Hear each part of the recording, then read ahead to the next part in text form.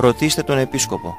Μια εκπομπή επικοινωνίας του Σεβασμιωτάτου Μητροπολίτου Αλεξανδρουπόλεως κυρίου Ανθίμου με τους ακροατές του Ράδιο Ελπίδα.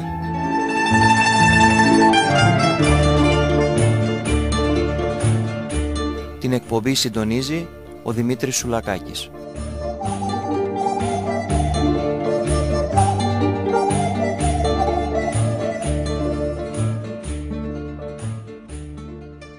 Κυρίες και κύριοι, ακροάτριες και ακροατές του ραδιοφωνικού σταθμού της Μητροπόλεως Αλεξανδρουπόλεως Ράδιο Ελπίδα, καλώς ήρθατε σε μία ακόμη εκπομπή με τον τίτλο «Ρωτήστε τον Επίσκοπο». Μια εκπομπή που δίνει στον Επίσκοπό μας την αφορμή της επικοινωνίας με όλους εσάς τους ακροατές του σταθμού μας. Το θέμα του τρέχοντος μηνός είναι Ένωση Εκκλησιών και Οικουμενικότητα. Από παντού σήμερα, σεβασμιότατε και σας καλωσορίζω, διατρανώνεται η ενότητα σε όλα τα επίπεδα. Λέγεται ότι είναι ανάγκη να επιτευχθεί για να επέλθει πρόοδο σε όλους τους τομείς της δημόσιας ζωής, της κοινωνικής, της πολιτικής ζωής κλπ. Όλοι υποτίθεται ότι αγωνίζονται για αυτήν την ένωση, αλλά παραδόξως πως ποτέ δεν επέρχεται. Με αφορμή λοιπόν την Πανορθόδοξη Σύνοδο και με την ευχή σας, αποφασίσαμε για τον μήνα Ιούνιο του 2016 να συζητήσουμε λίγο για αυτό το, το ζήτημα της Ένωσης των Εκκλησιών, της Οικουμενικότητας, με αφορμή το θέμα της Μεγάλης Πανορθόδοξης και Αγίας Συνόδου της Κρήτης που θα γίνει από τις 15 έως τις 26 νομίζω, διορθώστε με αν κάνω λάθος, στην Κρήτη. Λοιπόν, το πρώτο ερώτημα για να ξεκινήσουμε λίγο με αυτό και μετά θα πάμε στην Ένωση των Εκκλησιών, να μιλήσουμε λίγο για την Σύνοδο της Κρήτης, που νομίζω ότι Εν πολλής και ο λαός μας είναι ανημέρωτος, αλλά θα το απαντήσετε αυτό σε μια ερώτηση. Καταρχήν, να ρωτήσω πόσα χρόνια έχει να συγκληθεί μια τέτοια εμβέλειας σύνοδος και αν πολλοί αναρωτιούνται στις παρέες μας, στις συζητήσεις μας, αν αυτή η σύνοδος είναι εφάμιλη των οικουμενικών συνόδων που έγιναν. Κύριε Σουλακάκη, καλησπέρα και από μένα. Είναι ένα γεγονός σημαντικό αυτή η σύνοδος έτσι όπως ετοιμάζεται, έτσι όπως ε, θέτεται τα ερωτήματα και είναι και ερωτήματα των ακροατών μας. Είναι απορίες και ερωτηματικά και δικά μας των επισκόπων αλλά και ολόκληρης της Εκκλησίας. Γιατί, επειδή η προηγούμενη σύνοδος έγινε πριν από 1050 χρόνια αν δεχθούμε και κάποιες τοπικές μπορούμε να πούμε έτσι 1050. Αν πούμε για κάποια μεγάλη οικουμενική πανορθόδοξη τότε θα πάμε στα 1200 χρόνια. Πολλά χρόνια σε Πολλά χρόνια μεσολάβησαν τεράστια προβλήματα, άλλαξε ο κόσμος τόσες φορές, διαφοροποιήθηκε η Ορθοδοξία, όχι το δόγμα της, αλλά ο τρόπος της ποιμαντικής της, δηλαδή ο τρόπος με τον οποίο σε κάθε τόπο, διαφορετικό τρόπο, σε κάθε τόπο αντιμετωπίζει και οικειώνεται τα προβλήματα των πιστών mm-hmm. τους οποίους διακονεί μια υπόθεση που μας φοβίζει γι' αυτό ακούγονται και όσα ακούγονται κάποιες ενστάσεις, κάποιες αντιρρήσεις, κάποιες φοβίες ένας πανικός έχει δημιουργηθεί τι θα γίνει σε αυτή τη σύνοδο, πόση θα είναι η εμβέλειά της μήπως βλαφτεί η Ορθοδοξία κτλ. Όλα αυτά είναι δικαιολογημένα γιατί δεν έχουμε συνηθίσει αυτόν τον τρόπο που είναι ο κατεξοχήν εκκλησιαστικός της επικοινωνίας μεταξύ μας προκειμένου να βάζουμε στο τραπέζι των συζητήσεων τα ζητήματα. Ευτυχώς δεν υπάρχουν δογματικά θέματα, θέματα πίστεως δηλαδή, δεν αποκλίνει καμία εκκλησία από την άλλη, αλλά όμως οι ορθόδοξες εκκλησίες για τις οποίες μιλάμε έχουν διαφορά στην ποιμαντική την οποία ασκούν και χρειάζεται να καθίσουμε μη σας φανεί περίεργο να γνωριστούμε πρώτα-πρώτα. Όχι προσωπικά, αλλά να κατανοήσει ο ένας αφού γνωρίσει πρώτα τα προβλήματα του αλλου Νομίζουμε ότι τα ξέρουμε, αλλά είναι τόσο διαφορετικά. Φανταστείτε οι ναι. χώρες που είναι στην Ευρώπη και πέρασαν από την λέλαπα του κομμουνισμού και έκαναν διάφορους συμβιβασμούς, πολύ καλούς συμβιβασμούς, ποιμαντικούς συμβιβασμούς, αλλά σε εμάς σήμερα είναι ακατανόητοι και δεν είναι παραδεκτοί. Χώρες που είναι σήμερα στην Αφρική και γνωρίζουν την Ορθοδοξία με τον ιεραποστολικό ζήλο στον οποίο προσέρχονται σε αυτήν, κρατούν και κάποια από τα παλιά τους εθιμικά δίκαια, τα οποία δεν μπορούν εύκολα να αποποιηθούν Βλέπετε και σε εμάς ακόμα στους Έλληνες Ορθοδόξους υπάρχουν μέσα στη λατρεία μας και στοιχεία από την αρχαία ελληνική ακόμα παγανιστική σκέψη. Σωστά. Δεν είναι εύκολο ο λαός να παρνηθεί τα έθιμά του όταν αυτά διαποτίζουν όλη του την προσωπικότητα και την καθημερινότητα. Άρα λοιπόν όλα αυτά πρέπει να τα βάλουμε κάτω και πρέπει να τα εξετάσουμε. Τι θα συζητηθεί; Και με ποιον τρόπο θα συζητηθεί; Θα δοθεί ο λόγος σε όσους το θελήσουν, διότι αδερφοί σας ιεράρχες κατήγγυλαν ότι θα είναι μαριονέτες. Κοιτάξτε, τα θέματα όταν άρχισαν το 1927 να συζητιόνται ήταν γύρω στα 100. Από εκείνα τα 100 θέματα το 1950-55 έφτασαν να είναι γύρω στα 14-15 και σήμερα είμαστε στα 6. Είναι θέματα τα οποία εντωμεταξύ λύνονται μέσα στην ποιμαντική δραστηριότητα των επισκόπων, του λαού, ε, των αντιλήψεων που η Ορθοδοξία ελεύθερα ε, ζητάει οι άνθρωποι να αποδεχθούν ή να μην αποδεχθούν. Ξέρετε, στην πίστη μας, στην Ορθόδοξη χριστιανική μας πίστη είναι το Ευαγγέλιο και η Ιερά Παράδοση, τα δύο, οι δύο αυτοί πυλώνες, αλλά και τα δύο είναι πολύ Το Ευαγγέλιο είναι ένα ιερό βιβλίο, το ιερότερο βιβλίο της πίστεώς μας, το οποίο ερμηνεύει η Εκκλησία κατά καιρούς ναι. Ανάλογα με το πώς αναπαύει τις συνειδήσεις των ανθρώπων χωρίς να χάνει το περιεχόμενό του. Η Ιερά Παράδοση είναι η άφατη, η ακρόρια της ελευθερίας την οποία βιώνει η Εκκλησία και όταν κάτι είναι κοινώς αποδεκτό τότε είναι Για μας δηλαδή για την Εκκλησία η παράδοση δεν είναι μια σκουριά που την κουβαλάμε από το παρελθόν και σώνει και καλά οφείλουμε να ζήσουμε με αυτήν. Είναι το καθολικός αποδεκτό από το σώμα των πιστών. Σήμερα. Σήμερα. Παράδοση είναι αυτό που παραδίνουμε στις επόμενες γενιές. Το παραλάβαμε από τις προηγούμενες, διαποτισμένο από το πνεύμα του Ευαγγελίου, βιωμένο από τα εκατομμύρια των πιστών και των γενεών που έζησαν πριν από μας, το ζούμε κι εμείς και το παραδίνουμε στους επομένους λέγοντας αυτός ο τρόπος της ορθόδοξης βιωτής είναι ένας ωραίος τρόπος. Πάρτε να ζήσετε κι εσείς έτσι. Δηλαδή είναι αυτό που δίνουμε αφού πρώτα το έχουμε εμείς γευτεί και το έχουμε ζήσει. Δεν είναι μια σκουριά του παρελθόντος. Τα θέματα της Συνόδου; Τα θέματα λοιπόν της Συνόδου είναι αυτά που έμειναν ύστερα από το φιλτράρισμα, από το ραφινάρισμα όλων αυτών των χρόνων από το 1950-60 μέχρι σήμερα. Γίνονταν συσκέψεις στο ενδιάμεσο μέχρι σήμερα για να καταλήξουμε εκεί; Ακριβώς. Γίνονταν αλλεπάλληλες συσκέψεις τις οποίες μετήχαν οι Ορθόδοξες Εκκλησίες, άλλες νωρίτερα, άλλες αργότερα, άλλες μπορούσαν λόγω του κομμουνιστικού καθεστώτος που είχε, είχε διακαταλάβει όλες τις χώρες τους αυτές και άλλοι με περισσότερη, άλλοι με λιγότερη ελευθερία, πάντως μετήχαν. Τα τελευταία 20-30 χρόνια, 30 χρόνια ας πω, ε, ε, δόθηκε πολύ μεγάλη βαρύτητα στην υπόθεση των θεμάτων. Άρχισαν το αυτοκέφαλο των εκκλησιών, τα δίπτυχα, οι θέσεις των εκκλησιών μέσα στη σειρά, ε, η νηστεία, ο γάμος, η ιεροσύνη. Υπόθηκαν κάποια που βγήκαν εκ των υστέρων ε, οι σχέσεις της Ορθόδοξης Εκκλησίας με τις άλλες θρησκείες και ομολογίες, οι διάλογοι οι οποίοι γίνονται σε θεολογικό επίπεδο, όλα αυτά έφτασαν σήμερα σε ένα επίπεδο να είναι αποδεκτά ως θέματα από τις Ορθόδοξες Εκκλησίες. Λένε πολλοί η Ορθόδοξη Εκκλησία είναι μία, η Εκκλησία είναι μία. Μάλιστα και εγώ το αποδέχομαι πλήρως. Μία είναι η Εκκλησία. Αλλά λέμε εκκλησίες γιατί καταλαβαίνουμε ως τεχνητό όρο εννοούμε τις κατατόπους Ορθόδοξες ε, Εκκλησίες οι οποίες συγκροτούν τη μία Αγία Καθολική Σωστά. και Αποστολική Εκκλησία. Ναι, ναι. Το λέω αυτό γιατί έγινε και πολλής λόγος για το αν η Καθολική είναι Εκκλησία, για το αν τις ε, Προτεσταντικές, θα το πούμε στο ναι, δεύτερο μέρος. αν τις ναι, Προτεσταντικές μπορούμε να τις λέμε Εκκλησίες κτλ. Αυτά λοιπόν τα συζητούμε σήμερα και οι Ορθόδοξες Εκκλησίες υπό την έννοια που την εξήγησα συμφωνούν στο να συζητήσουμε πάνω σε αυτά. Όχι να τα αποδεχθούμε, θα ψηφίσουμε τι θα αποδεχθούμε στο τέλος. Και έρχομαι σε αυτό που ρωτήσατε. Ποιοι θα ψηφίσουν. Για πρώτη και φορά... αν θα τους δίνεται ο λόγος. Ακριβώς. Για πρώτη φορά η Εκκλησία δοκιμάζει ένα καινούριο σύστημα. Για πείτε μας. Και μου λένε πολλοί, ξέρετε ότι δεν γινόταν έτσι στις Οικουμενικές Συνόδους. Δεν ξέρω αν γινόταν ή δεν γινόταν έτσι, γιατί και εκεί φαίνεται ότι υπήρχε ε, ε, πολύ μεγάλη ας πούμε δυνατότητα στην έκφραση του λόγου. Οι Οικουμενικές Σύνοδοι ήταν κάτι σαν την εκκλησία του Δήμου στην αρχαία Ελλάδα, ότι σήκωνε κάθε επίσκοπο στο χέρι όποιος ήθελε και μιλούσε. Όταν ήταν ένας αριθμός των συμμετεχόντων λογικός, ναι. 50, 60, 200, 300. Ναι, ναι, ναι. Και υπήρχε και στη μέση ο αυτοκράτορας, ναι. ο οποίος επέβαλε την ταξη και ζητούσε και απαιτούσε οι αποφάσεις της Συνόδου να γίνουν νόμοι του κράτους Οπότε τότε υπήρχε και η βία να ανταποκριθούν στο αίτημα του αυτοκράτορα για να ειρηνεύσει η αυτοκρατορία. Τότε ήταν εύκολο κάτι τέτοιο. Μάλιστα. Από τότε όμως, εδώ και 1200 χρόνια, μέχρι σήμερα η Ορθοδοξία απλώθηκε παντού. Υπάρχουν εκατοντάδες επίσκοποι.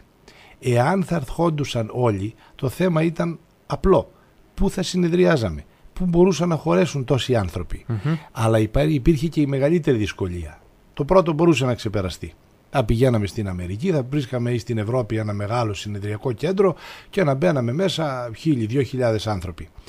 Αλλά το δεύτερο ήταν ότι πλέον οι εκκλησίες θα ψήφιζαν βάσει της εθνικής τους ποιμαντικής. Δηλαδή όταν κατέβαιναν 200 επίσκοποι από τη Ρωσία τότε η σύνοδος θα ήταν ρωσική ουσιαστικά. Άλλη ποιμαντική όμως σεβασμιότητα δεν υπάρχει ας πούμε σε μια σλαβική χώρα, άλλη ποιμαντική δεν είναι. Αφού κάθε επίσκοπος έχει Αυτό λίγο θέλαμε. εντάξει. Δεν θέλαμε να γίνει μια επίδειξη δυνάμεως αριθμητικής.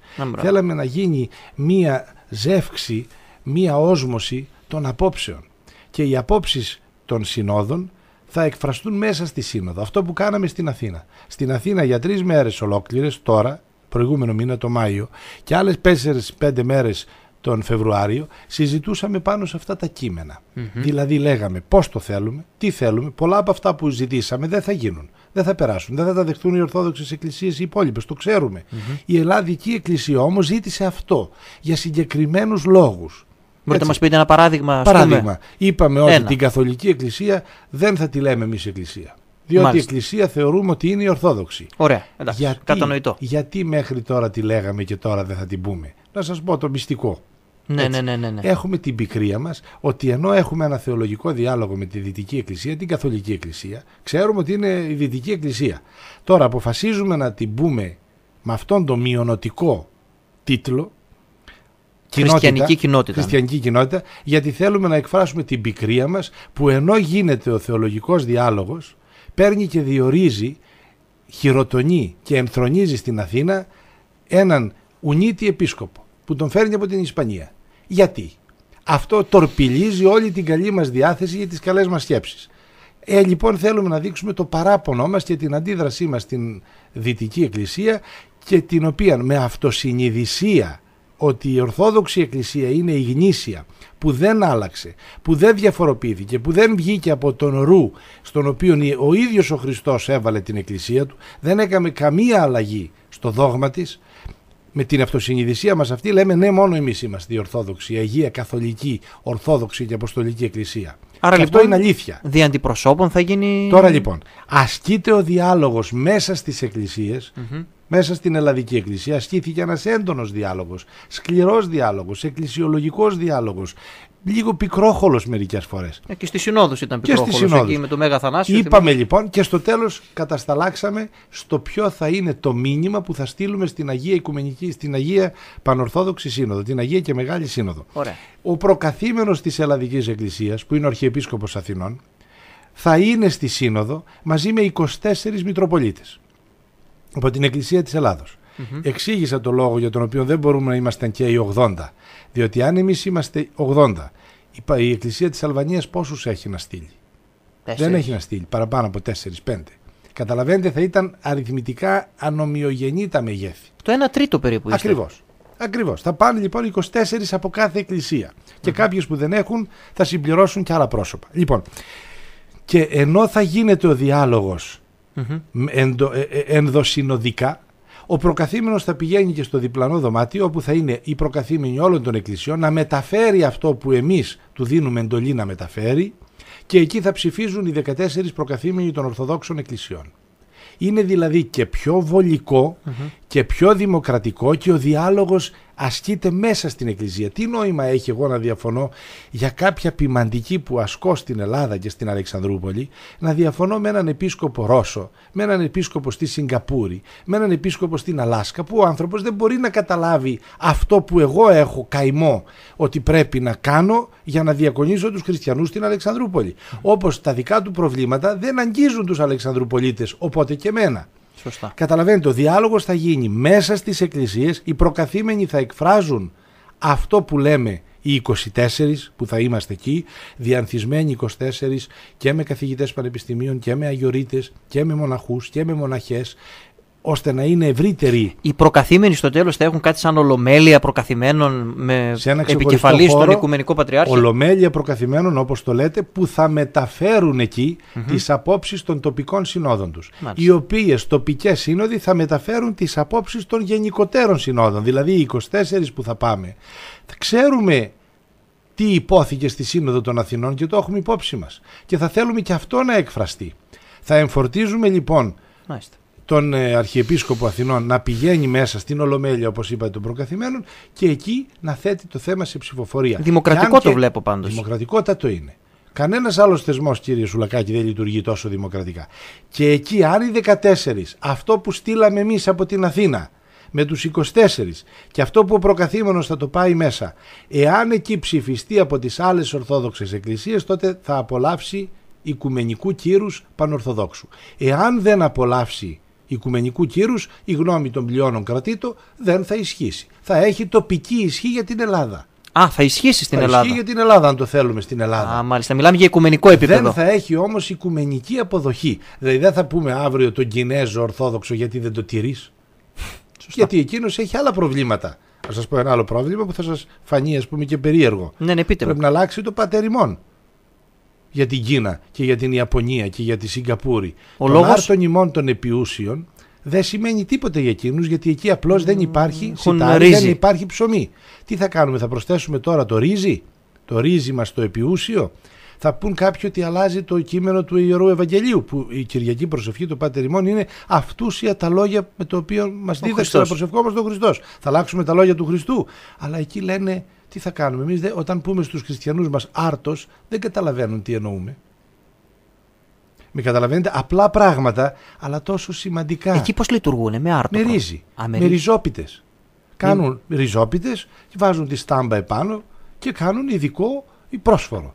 Με ρύζι. Αυτό, αυτό τρώει ο κόσμος. Δεν υπάρχουν φούρνοι, δεν έχουν ψωμί. Ε, προφανώς δεν θα ζητήσουν να επιβληθεί αυτό και στον υπόλοιπο Οπωσδήποτε. κόσμο. Καταλαβαίνετε ότι άλλα Σωστά. έχουν λοιπόν τοπική ισχύ και άλλα θα έχουν οικουμενική ισχύ. Είναι θεόπνευστες, ρωτάει ένας ακροατής, οι αποφάσεις των συνόδων εν γέννη; Θεόπνευστες να ξεκαθαρίσουμε τι σημαίνει. Ναι. Θεόπνευστο δεν είναι αυτό που έρχεται ο Θεός και υπαγορεύει στο αυτί μας και εμείς απλά το μεταφέρουμε.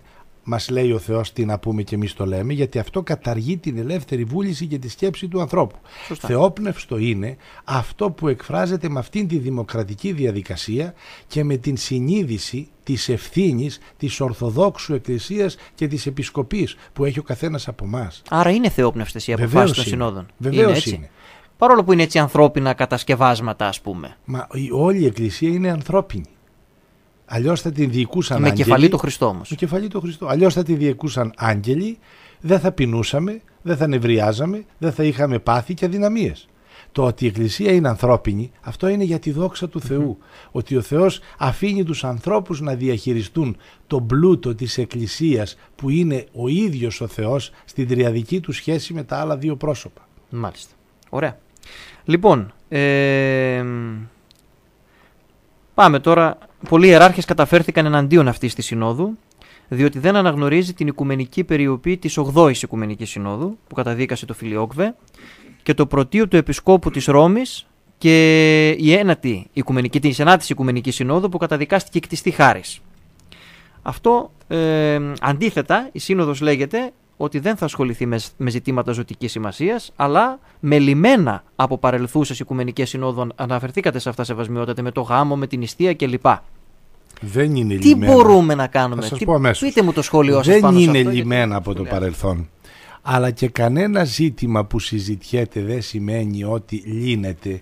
Γιατί εμείς δεν έχουμε τρόπο και δεν χρειάζεται να έχουμε τρόπο επιβολής.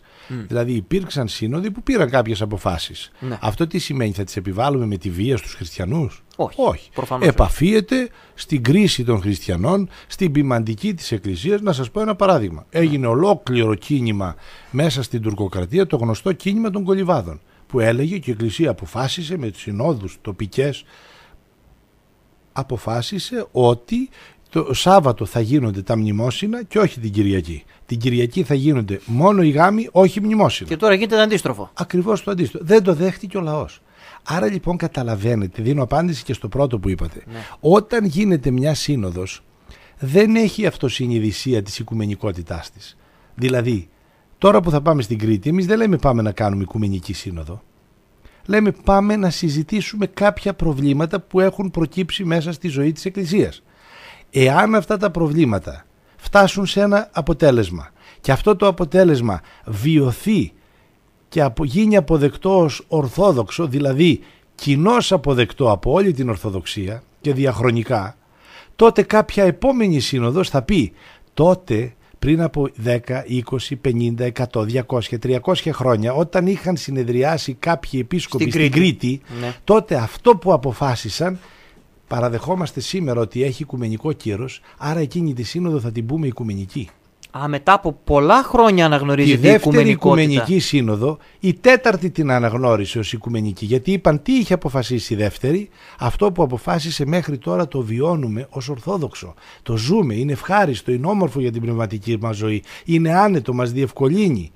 Άρα λοιπόν αυτοί τότε εκεί που αποφάσισαν, αποφάσισαν θεόπνευστα και εμείς τώρα το αναγνωρίζουμε, αλλά εκείνη η σύναξη ήταν η δεύτερη οικουμενική. Της δώσαν οικουμενικό κύρος. Γι' αυτό λένε μερικοί και έχουν μεγάλο λάθος ότι ε, πάμε και δεν αναγνωρίζουμε την 8η και την 9η. Μα ναι, εμείς δεν έχουμε αυτοσυνειδησία.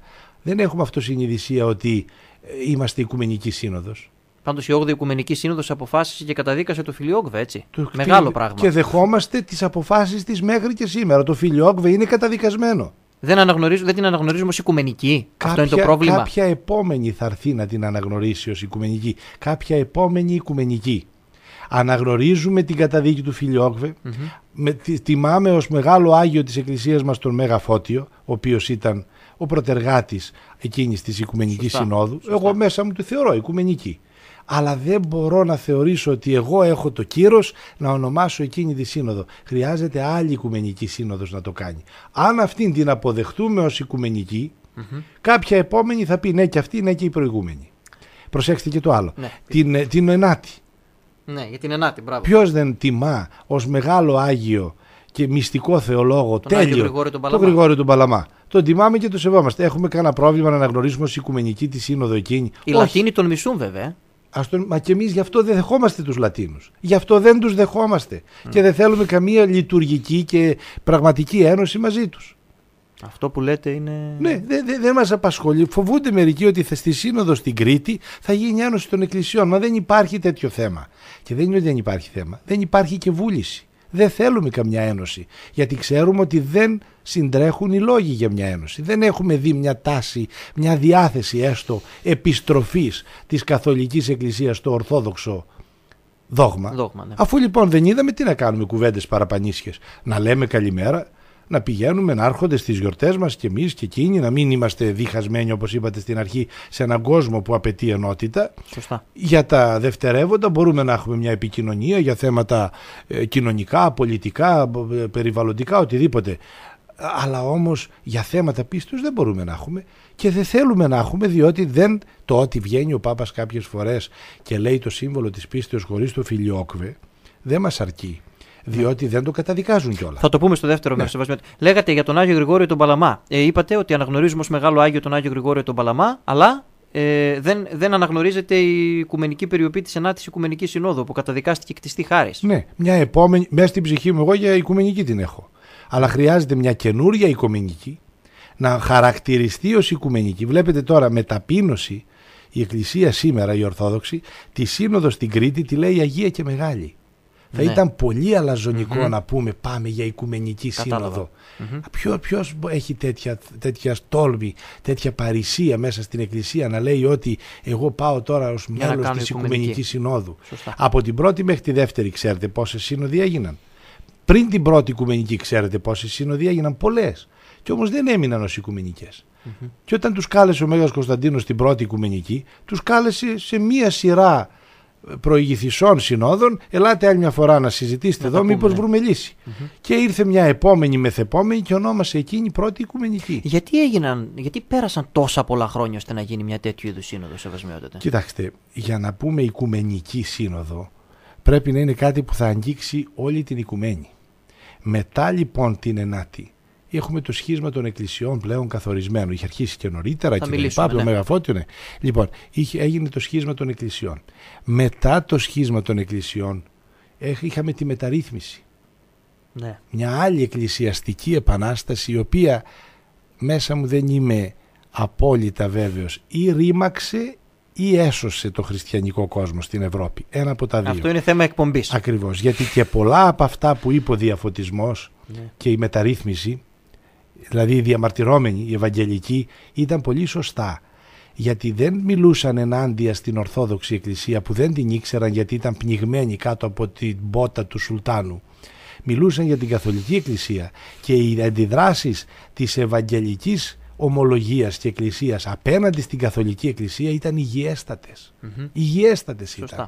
Δεν μπορώ λοιπόν τώρα εγώ να βγω και να κατηγορήσω συλλήβδιν την Ευαγγελική Εκκλησία διότι ξέρω ότι πολύ υγιώς φέρθηκε. Αντιμετώπιζε μία εκκλησία η οποία δεν ήταν πάνω στις ράγες του Ευαγγελίου και της παραδόσεως. Ωστόσο για μας αποτελεί αίρεση. Σήμερα είναι δεδομένο ότι θεωρούμε την, Ευαγγελική, την ε, Καθολική Εκκλησία ως Εκκλησία, τώρα στην Αθήνα είπαμε κοινότητα και εξήγησα το λόγο, και τις προτεσταντικές τις θεωρούμε ομολογίες, όπως και οι ίδιες το δέχονται, ότι είναι μια ομολογία πίστεως.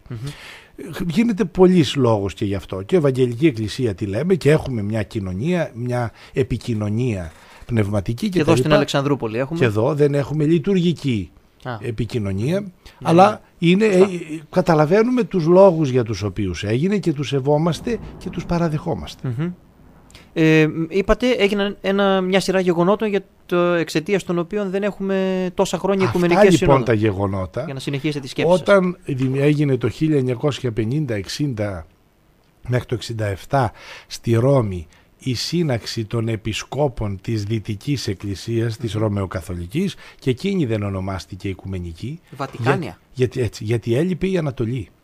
Και χωρίς την Ανατολή πώς θα ονομαστούν και εκείνοι Οικουμενικοί; Το ίδιο λοιπόν και εμείς δεν μπορούμε να πούμε Οικουμενική Σύνοδος γιατί λείπει η Σαν να λείπει ένα κομμάτι μας. Έτσι. Δεν δέχομαι τη θεωρία των κλάδων ή των πνευμών ότι η Εκκλησία οι δύο πνευμόνια, ένα ανατολικά, ένα δυτικά. Όχι. Η Εκκλησία είναι μία μία Αγία Καθολική Ορθόδοξη και Αποστολική Εκκλησία. Με τους δυτικούς. Με. Με. Όταν γυρίσουν όμως και ασπαστούν το Ορθόδοξο δόγμα, τότε θα κάνουμε μια Ορθόδοξη, μια ορθόδοξη Οικουμενική Σύνοδο. Τώρα λοιπόν εκείνη την είπαν Βατικάνια, εμείς τη λέμε Αγία και Μεγάλη, εν γνώση μας ότι εμείς είμαστε η Ορθόδοξη Εκκλησία, η Καθολική Εκκλησία, η απαράλλακτη Εκκλησία και περιμένουμε την επιστροφή τους. Μια ερώτηση τελευταία νομίζω πριν το μουσικό μας διάλειμμα. Ο λαός είναι γνωστό ότι είναι ανημέρωτος. Το είπα και στην αρχή σχετικά με αυτή τη σύνοδο. Πόσο ήσυχος είστε εσείς και κοιμάστε εσείς ως επίσκοπος και όλοι οι επίσκοποι οι οποίοι θα παρευρεθείτε εκεί γνωρίζοντας ότι ο λαός στην καλύτερη περίπτωση είναι ανημέρωτος και στη χειρότερη δεν ενδιαφέρεται καθόλου για αυτά τα οποία εσείς θα συναχθείτε και θα συζητήσετε και μάλιστα καταγγέλλετε με μεγάλη πολυτέλεια και με πολλά έξοδα γιατί πρέπει να τα πούμε και αυτά με μεγάλα έξοδα για την ασφάλειά σας και τα λοιπά και τα λοιπά. Τι σχέση έχει αυτά, έχουν αυτά με τον ταπεινό Ιησού, διάβαζα χθες το βράδυ ένα άρθρο, ναι. ε, σχετικά με την ασφάλεια του Πατριάρχη και όλων των υπόλοιπων Πατριαρχών. Καλά. Πολλοί εκ των οποίων δεν θα λάβουν και μέρος κιόλας. Σας τα έβαλα όλα μαζί τώρα. Ποιοι εννοείται δεν θα λάβουν. Νομίζω ε, κάποιοι από το Πατριαρχείο Αντιοχίας Ευασμιότατε και από το Πατριαρχείο της Βουλγαρίας. Νομίζω ότι αυτά είναι μια έσχατη προσπάθεια να διευθετηθούν έτσι με αυτόν τον εκβιαστικό τρόπο κάποια θέματα. Τελικά, μάλλον θα λάβουν όλοι μέρος. Εάν δεν λάβουν, τότε θα είναι αυτό η ήττα της Ορθοδοξίας διαπαντός. Πλέον η Ορθοδοξία, αυτό που εάν δεν γίνει αυτή η σύνοδος, κύριε Σουλακάκη, εάν για οποιοδήποτε λόγο να βαγίσει αυτή η σύνοδος, τότε θα μου επιτρέψετε να εκφωνήσω μία έκφραση «Καληνύχτα Ορθοδοξία». Θα κοιμηθούμε ο καθένας στο σπιτάκι του χωρίς να έχουμε τη δυνατότητα να ανοιχτούμε στον κόσμο μας και οι Ορθόδοξοι να εκφράσουμε μια Ορθόδοξη ένα ορθόδοξο φιλί της ζωής σε έναν κόσμο που πεθαίνει. Δηλαδή ο κόσμος θέλει να ακούσει την Ορθοδοξία και η Ορθοδοξία θα μείνει εγκλωβισμένη σε ένα τοπικό επίπεδο, δηλαδή να βλέπουμε τον καθρέφτη στην Ελλάδα και να λέμε καθρέφτη καθρεφτάκι μου όπως έλεγε στο παρα, παραμύθι, παραμύθι στα ναι, ναι, ναι, ναι, και να λέμε εμείς είμαστε οι καλύτεροι του χωριού.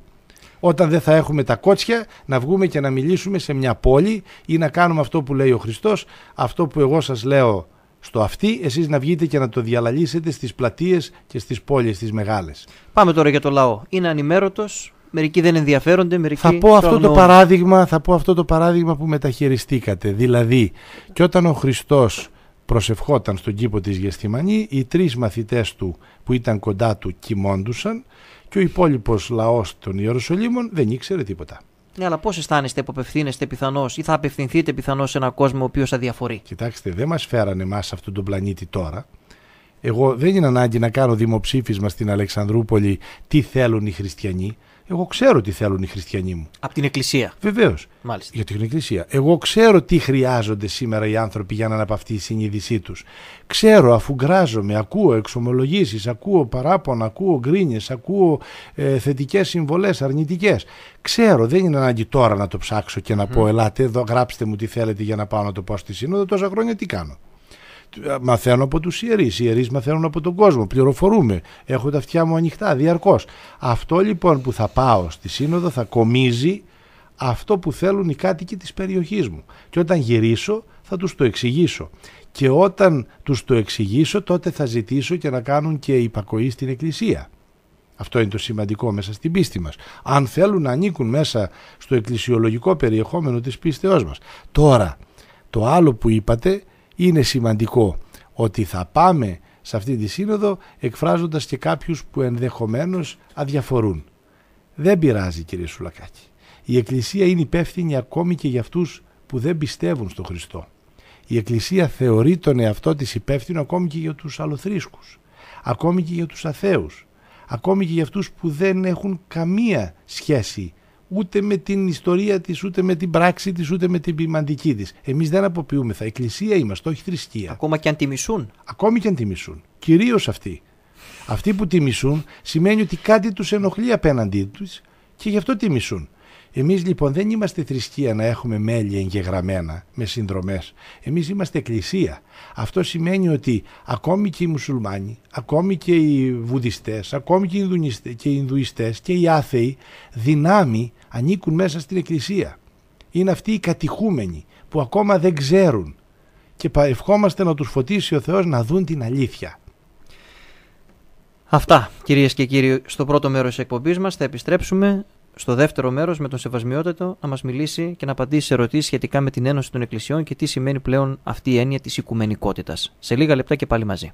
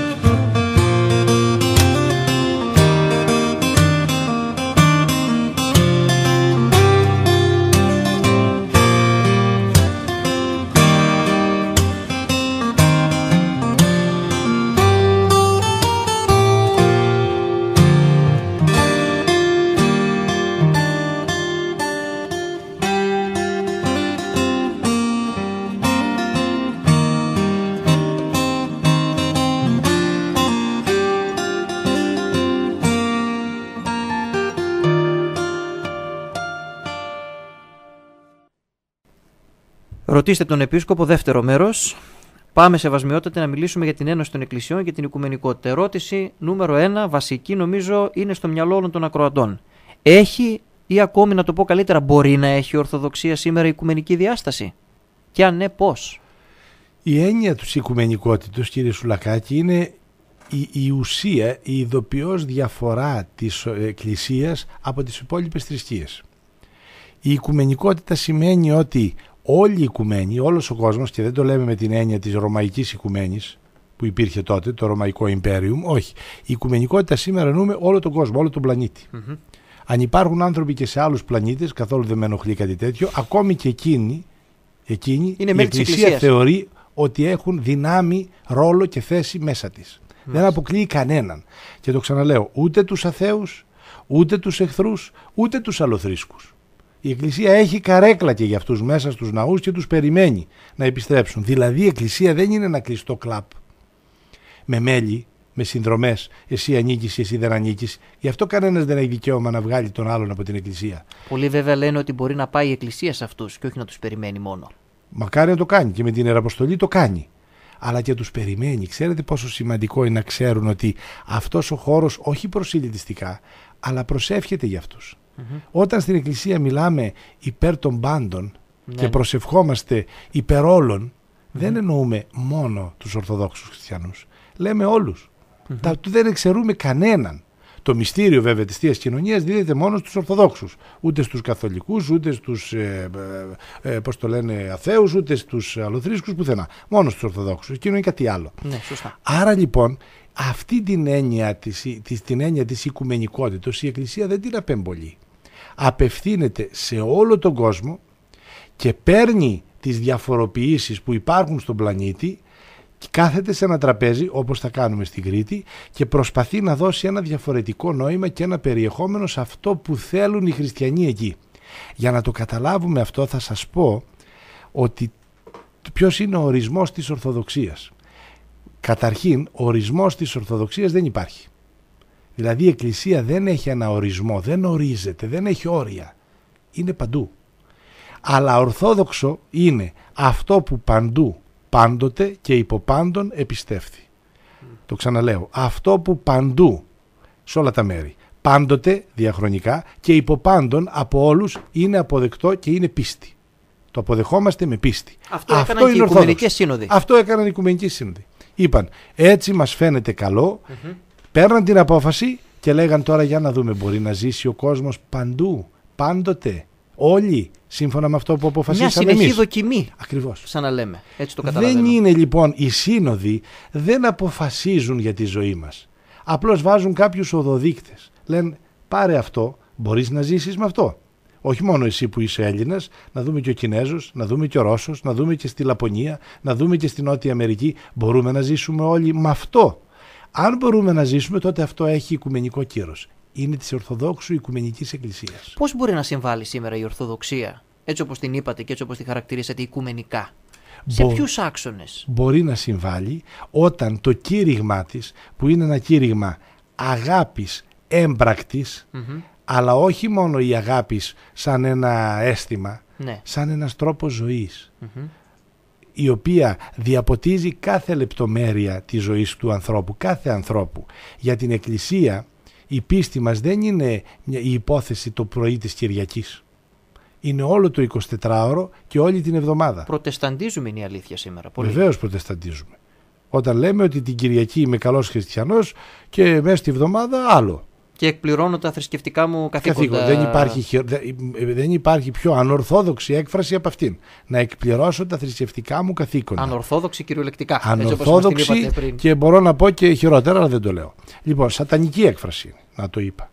Λοιπόν, καταλάβετε, δεν, δεν υπάρχει. Να εκπληρώσω τα θρησκευτικά μου καθήκοντα. Δηλαδή να πάω στην εκκλησία, να πληρώσω, να δώσω, να ανάψω το κερί μου. Αν δεν μπορέσω να πάω να στείλω και ταχυδρομικώς τα ονόματα και με κανένα καλό ποσό μέσα στο φάκελο και τότε είμαι εντάξει. Όχι.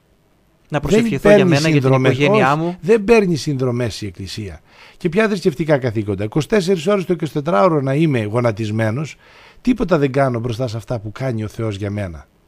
Άρα ποια θρησκευτικά καθήκοντα. Σκοπός λοιπόν είναι να πάω στην εκκλησία, να εμπλουτίζω τη σκέψη μου, τη ζωή μου, την ψυχή μου και το σώμα μου από τη λατρεία του ζωντανού Θεού, που είναι μια λογική λατρεία, και μετά να πάω να πιω τον καφέ μου σε μια καφετέρια, να πάω στο σπίτι μου, να δω την οικογένειά μου, την άλλη μέρα να δω το γραφείο μου, τις υποθέσεις μου, το εμπόριό μου, ε, τα τηλεφωνήματά μου, τις συναναστροφές μου με την τράπεζα. Όλα αυτά, αλλά όλα αυτά να είναι διαποτισμένα από την προσευχή, από τη λατρεία, από τη Θεία Κοινωνία που κοινώνησα την Κυριακή.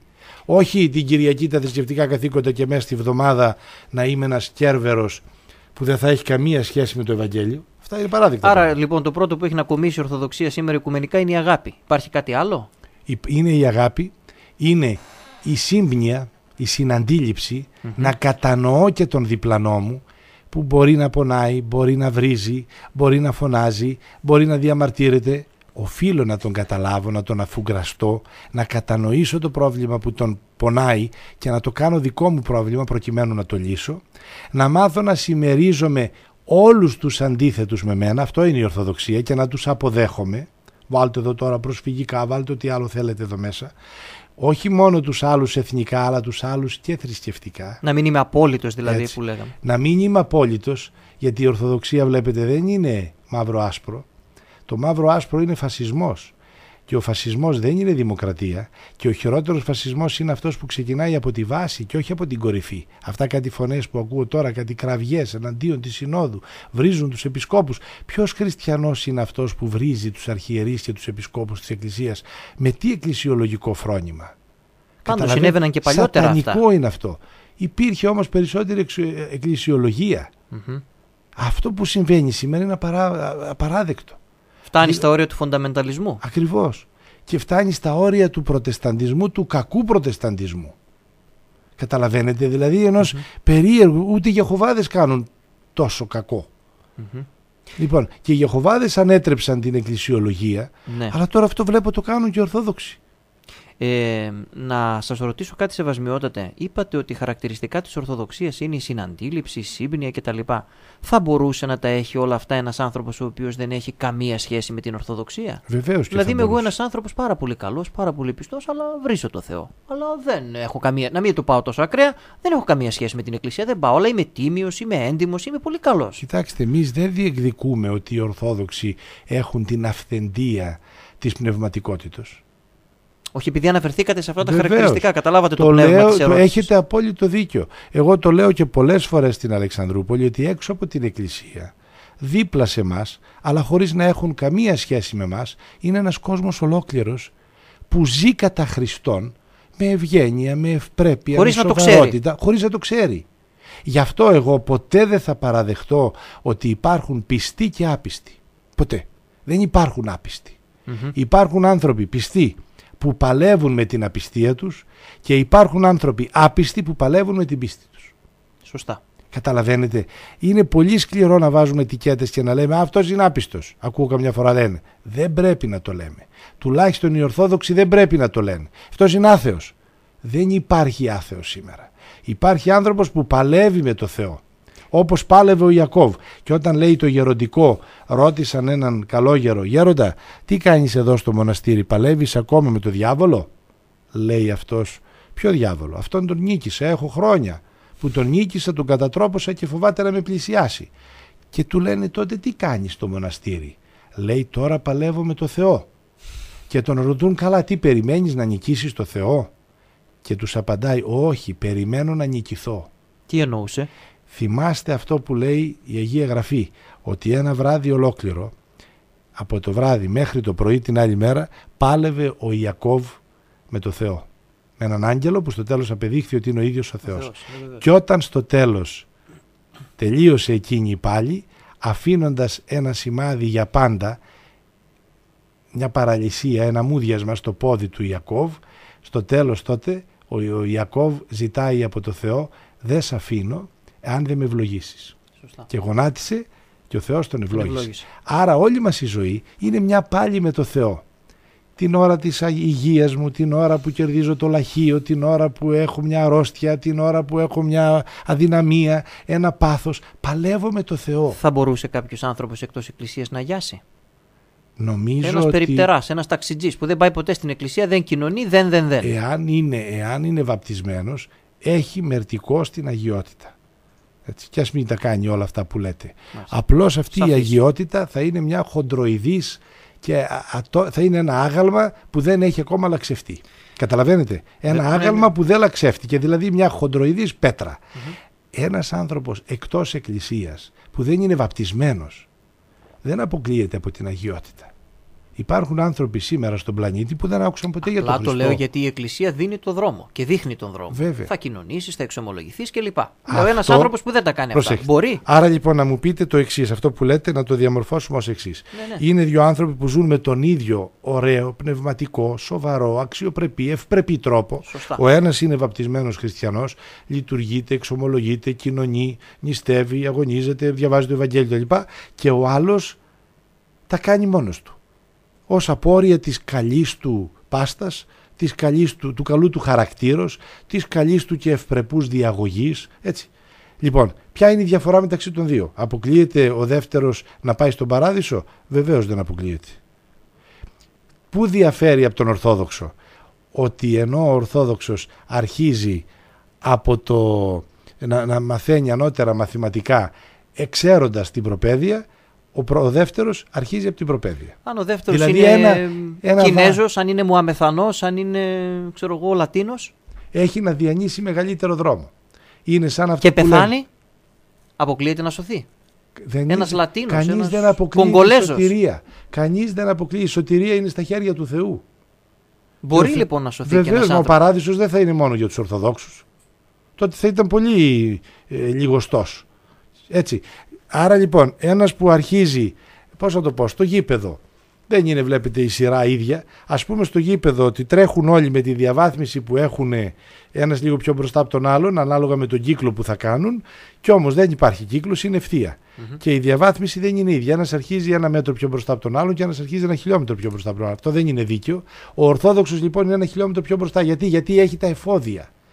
Η Εκκλησία δίνει τα εφόδια ώστε ο αγώνας μας ο πνευματικός να είναι πιο υποφερτός και πιο άνετος.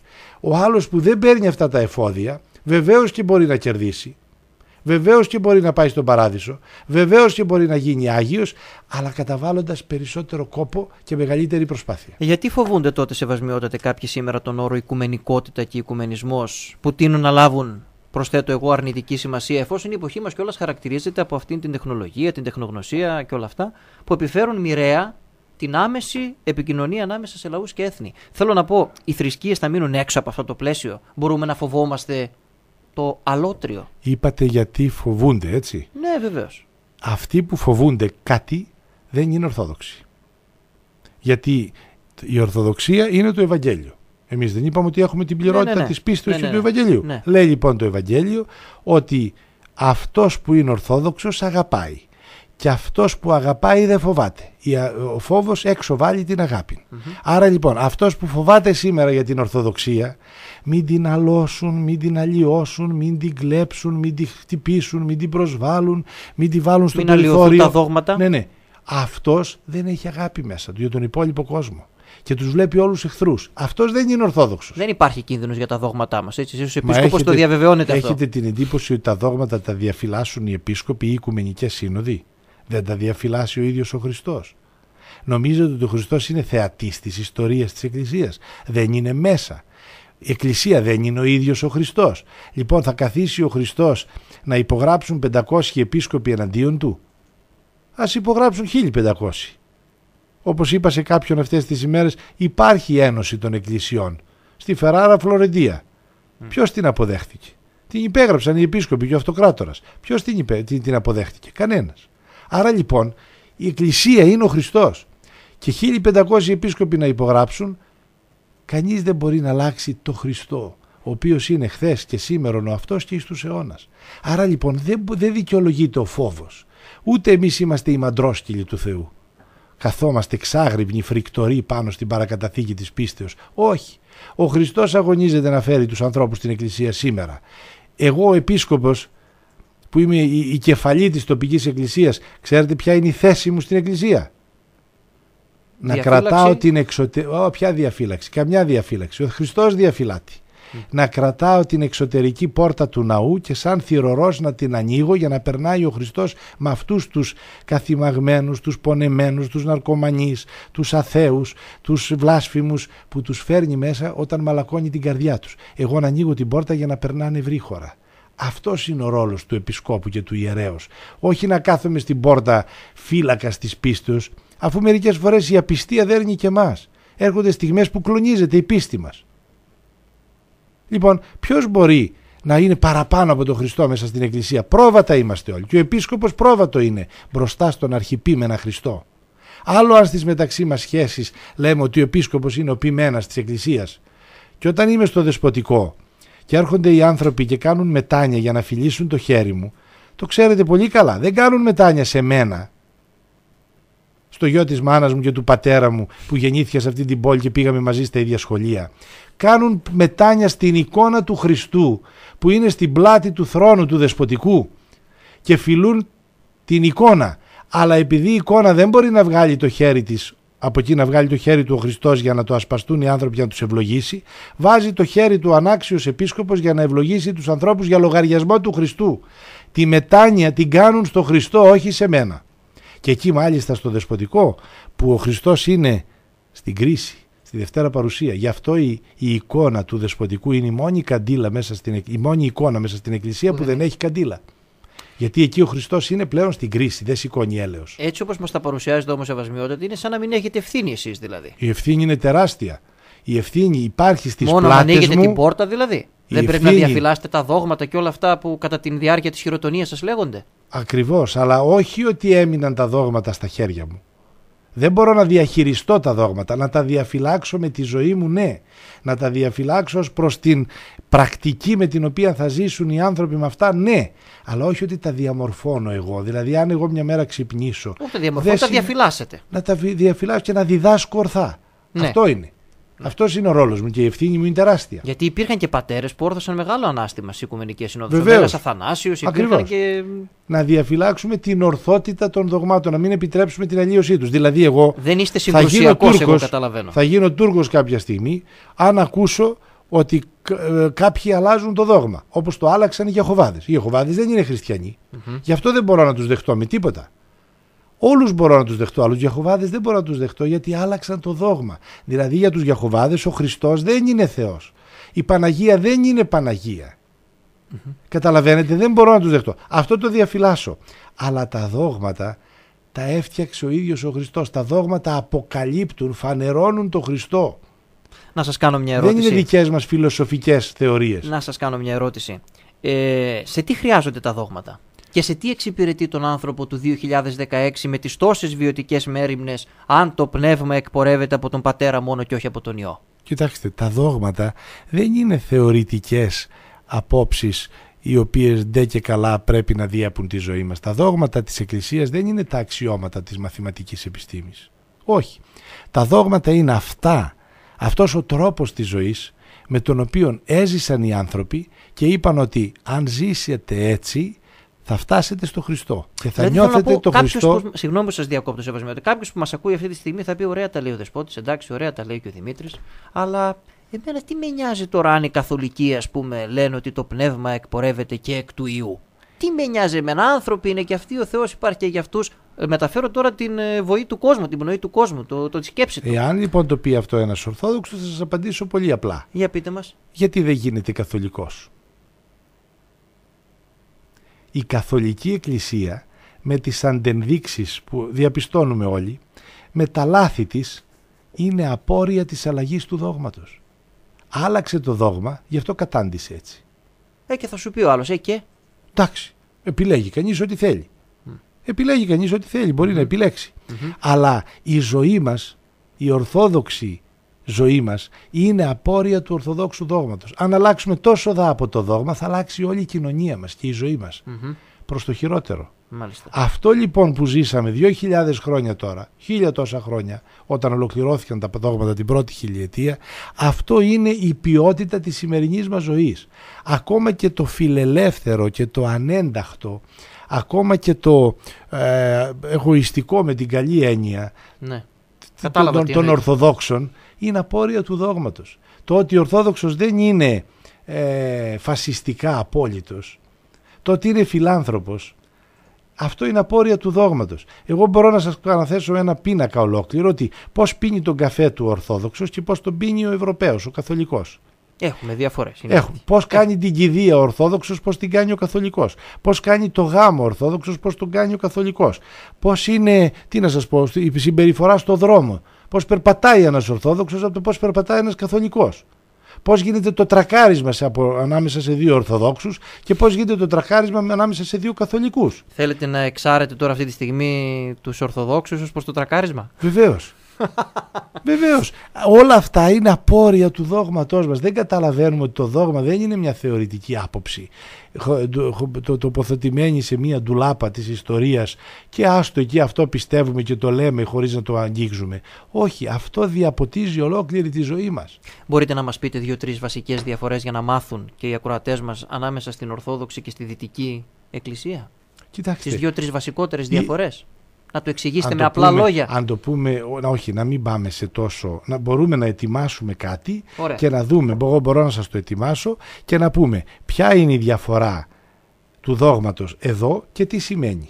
Μάλιστα. Δηλαδή, γιατί οι Ορθόδοξοι λέμε ότι το Άγιο Πνεύμα το εκπορεύει μόνο ο Πατέρας; Γιατί αν το εκπορεύει και ο Υιός, τι αλλάζει στη ζωή μου, στα ρούχα μου, στο χαμόγελό μου, στη συμπεριφορά μου, στο οδήγημά μου και στον καφέ μου; Δεύτερο, το ότι η Παναγία δεν είναι ισόκυρη με τον Πατέρα, τον Υιό και το Πνεύμα, αλλά είναι η Θεοτόκος, αλλά ποτέ δεν θα δεχτούμε το δόγμα της Μαριολογίας που δέχεται η Καθολική Εκκλησία. Το ότι η Εκκλησία η δική μας ε, δέχεται τον τρόπο της ε, θείας Κοινωνίας να κοινωνούν οι Ορθόδοξοι και σώμα και αίμα και το ότι οι Καθολικοί κοινωνούν μόνο το σώμα mm-hmm. στους χριστιανούς και οι κληρικοί κοινωνούν σώμα και αίμα να δούμε τι αντίκτυπο έχει. Ναι. Και ότι ένας ιερέας μπορεί να τελεί ας πούμε περισσότερες της μίας ε, θείες λειτουργίες. Και το ότι ένας ιερέας στην Ορθόδοξη Εκκλησία δεν μπορεί να τελέσει λειτουργία μόνος του παρά μόνο αν υπάρχει έστω και ένας λαϊκός. 40 παπάδες, μια λειτουργία μόνοι τους δεν μπορούν να τελέσουν. Αν υπάρχει έστω και ένας λαϊκός μέσα στην Εκκλησία, ας είναι και ο καντιλανάφτης, τότε μπορεί να την τελέσουν. Και το ότι ο καθολικός μπορεί να τελέσει προσωπική λατρεία, να το δούμε και αυτό τι αντίκτυπο έχει. Προσωπική θεία λειτουργία. για τον ίδιο; Για τον εαυτό του. Σε προσωπικό θυσιαστήριο. Υπάρχει, βεβαίως, το κάνει η Καθολική Εκκλησία. Το λέω αυτό όχι να κατηγορήσω. Εγώ δεν κατηγόρησα όχι, ποτέ. Όχι, ναι. Ούτε καθολικούς, ούτε προτεστάντες, ούτε ευαγγελικού. Να μας πείτε δύο-τρεις ναι, ναι. διαφορές. Μπορούμε λοιπόν αυτά να τα δούμε στην καθημερινή μας πράξη. Ναι, ναι, ναι. Που έχουν αντίκτυπο στη ζωή μας σήμερα. Εκεί που τρώμε, πίνουμε, κοιμόμαστε, κολυμπάμε, συζητάμε, θυμώνουμε, μαλώνουμε, τα βρίσκουμε, γελάμε, παντρευόμαστε, γελα... Ε, ναι. το λένε, ε, χορεύουμε. Όλα τα, τα δόγματα διαμορφώνουν όλο αυτό το πλαίσιο της ζωής μας. Mm-hmm. Ε, άλλη ερώτηση. Η Εκκλησία σε κάθε ακολουθία του νυχθημέρου σεβασμιότητα, το ξέρετε καλύτερα από μένα, εύχεται υπέρ της των πάντων ενώσεως των Αγίων του Θεού Εκκλησιών. Λοιπόν, ποιες νοούνται εδώ σε εκκλησίες, είναι το δικό μου το ερώτημα αυτό, και ο ακροατής ρωτάει, μήπως είναι τελικά μάταιη μια τέτοια αίτηση όταν ένα μέρος του πληρώματος αντιτίθεται σε αυτή; Όχι. Προσέξτε. Μάταιη δεν μπορεί να είναι, γιατί είναι η προσευχή της Εκκλησίας. Όποιος δεν συμφωνεί με την προσευχή της Εκκλησίας, τότε αυτός σας πάει να σωθεί μόνος του με ένα δικό του τρόπο. Η Εκκλησία προτείνει τον τρόπο της σωτηρίας μας. Αν ένας πει εγώ δεν συμφωνώ με την Εκκλησία που προσεύχεται υπέρ της των πάντων ενώσεως, ε, ας φύγει αυτός από την Εκκλησία. Εδώ μιλάμε για την Ένωση των Εκκλησιών τώρα, συγγνώμη ναι, που σας διακόπτω. Ναι. Μιλάμε για την Ένωση των Θα σας πω, ναι, βέβαια. Μάλιστα. Λοιπόν, αν ένας πει, και το ακούμε η Εκκλησία το λέει, ναι, η Εκκλησία το λέει, εγώ όμως δεν συμφωνώ. Λένε κάποιοι, δεν θέλω ένωση των εκκλησιών. Ναι, ναι, ναι. Αυτός σα φύγει από την εκκλησία. Ουσιαστικά με το που το λέει, φευγάτος είναι ήδη αποκόπτει τον εαυτό του από ναι, την ναι. εκκλησια και ας πάει να βρει τη σωτηρία μόνος του. Μπορεί να τη βρει, μπορεί και να μην τη βρει. Δηλαδή είναι πολύ ρηψοκίνδυνο να κάνεις πράγματα για τα οποία η εκκλησία δεν σε συμβουλεύει να τα κάνεις. Κάντε, ελεύθερος είσαι. Αλλά μπορεί να σε πάνε αλλού. Είναι Έτσι. μέσω σωτηρίας η ένωση των εκκλησιών, δηλαδή. Προσέξτε. Είναι η προσευχή της εκκλησίας. η οποία προσευχή της εκκλησίας δεν είναι πεξεγέλαση είναι η προσευχή του Χριστού το βράδυ στον κήπο της Γεστημανή. Είναι απάντες ένα. έτσι. Θυμάστε ότι ο Χριστός εκείνο το βράδυ δεν προσευχόταν για να μην πονέσει στο σταυρό. Δεν προσευχόταν για να απαλλαγεί από το πάθος, αφού ήρθε για να πεθάνει. Με αυτόν τον μαρτυρικό τρόπο.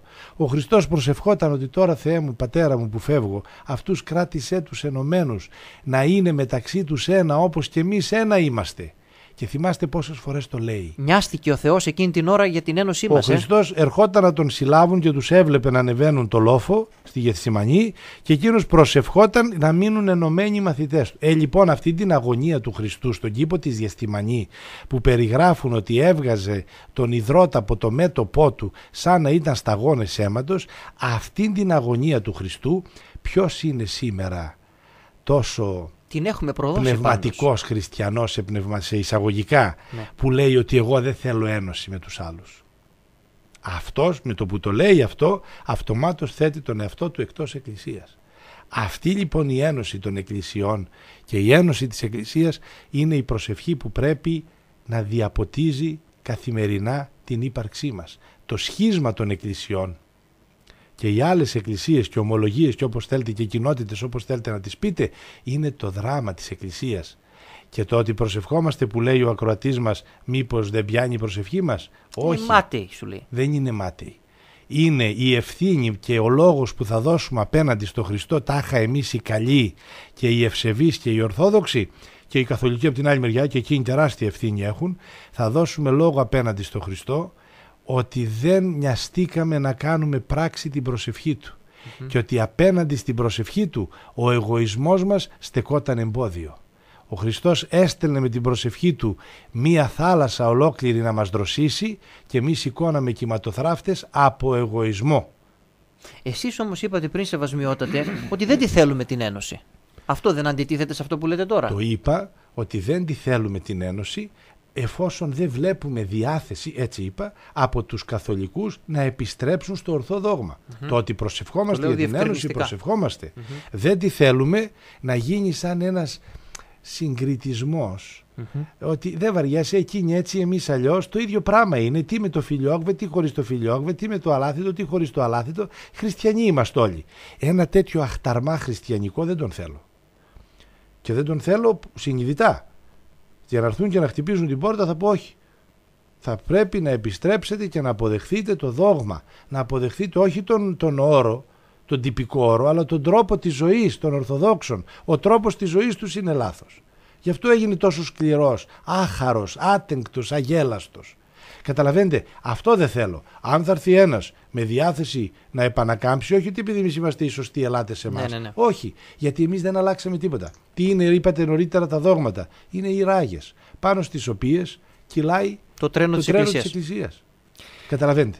Κλείνοντας, θέλουμε να μας πείτε την προσευχή σας για, για το θέμα μας, για την Ένωση των Εκκλησιών, ε, για την Πανορθόδοξη Σύνοδο, τη σκέψη σας. Μέσα σε ένα λεπτό και αυτό θα είναι το κλείσιμό μας. Τι προσεύχεστε εσείς ως Επίσκοπος για αυτή τη Ήδη, Σύνοδο; ήδη θα ανακοινωθεί η εγκύκλειος της Συνόδου προς τους χριστιανούς, προς το λαό, θα μοιραστεί και τους, την Κυριακή στις εκκλησίες, προκειμένου ο ίδιος ο λαός μας, οι χριστιανοί μας, κλήρος και λαός, ιερείς, επίσκοποι, μοναχοί, μοναχές, χριστιανοί μας όλοι, απαξάπαντες, να προσευχηθούμε για, την, για το πλησίασμα των Ορθοδόξων μεταξύ μας. Αυτός, αυτό είναι η σύνοδος.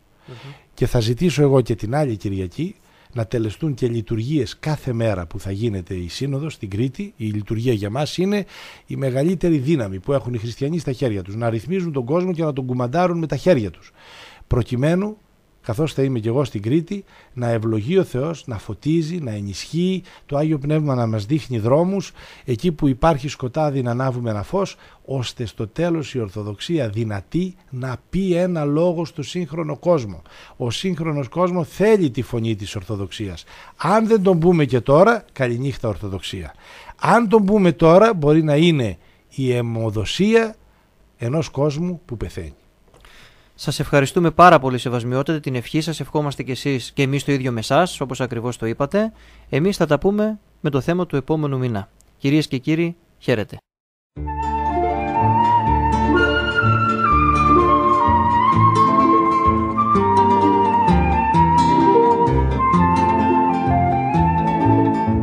Ρωτήστε τον Επίσκοπο. Μια εκπομπή επικοινωνίας του Σεβασμιωτάτου Μητροπολίτου Αλεξανδρουπόλεως κυρίου Ανθίμου με τους ακροατές του Ράδιο Ελπίδα.